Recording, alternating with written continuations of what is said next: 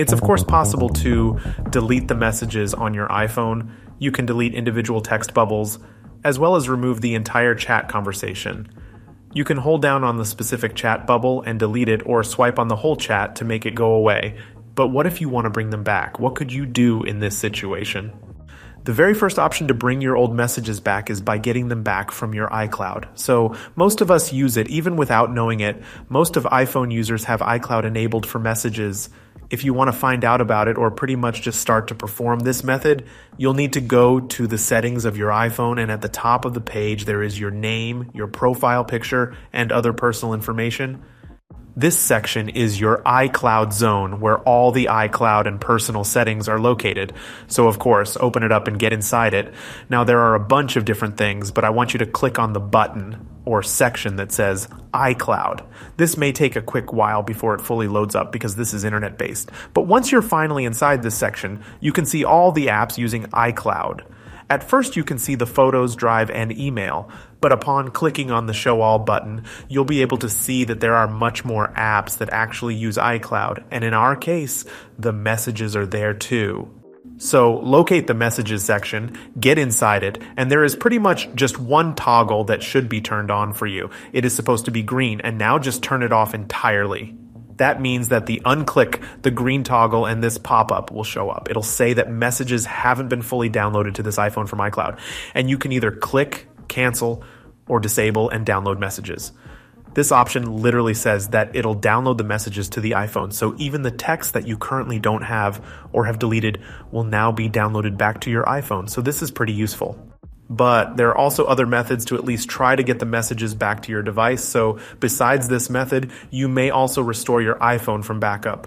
As you know, when you back up your iPhone, all of the stuff is going to be stored or saved, and that naturally includes all of your messages as well. Now, depending on when was the last time your iPhone got backed up, keep in mind that automatic backups are also a thing, so it could have happened this way, but according to the time when it got saved, you'll know whether your messages will be there or not.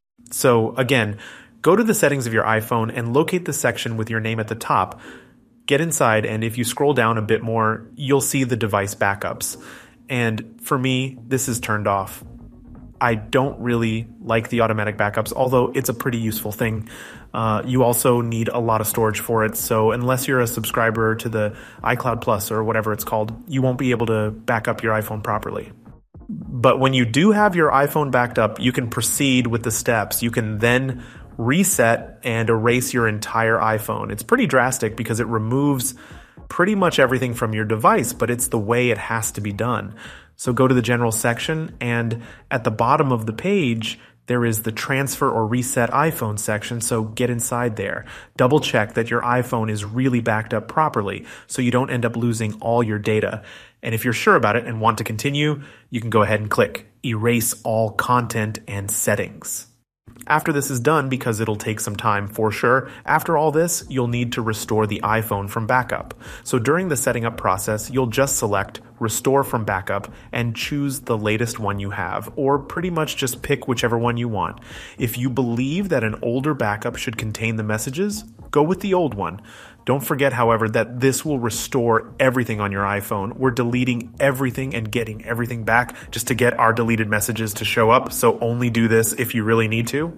But using iCloud backup is not the only thing that is available to you.